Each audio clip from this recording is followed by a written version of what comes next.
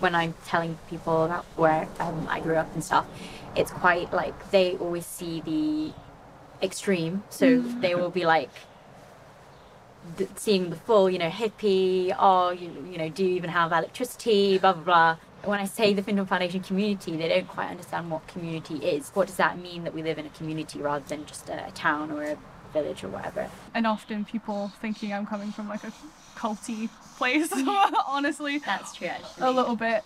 I mean, there's a lot of projections and stories, but then I find people have projections and stories about people wherever they come from. Yeah.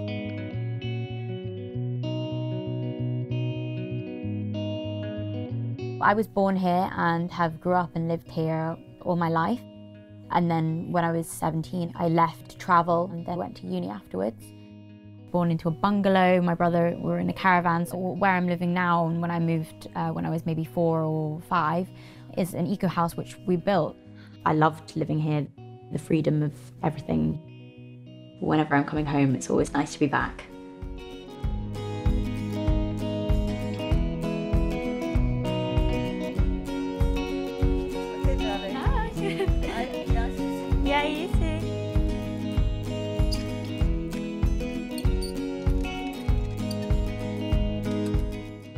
Anyone who's done with their bits and bobs, their clothes, books, anything, they just put it in here and anyone else can come along and take it out for free.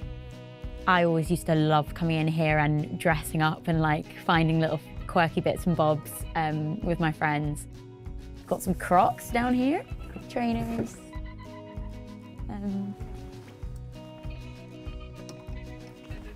sometimes you'll find a gem and it like if you were to buy it they're actually quite expensive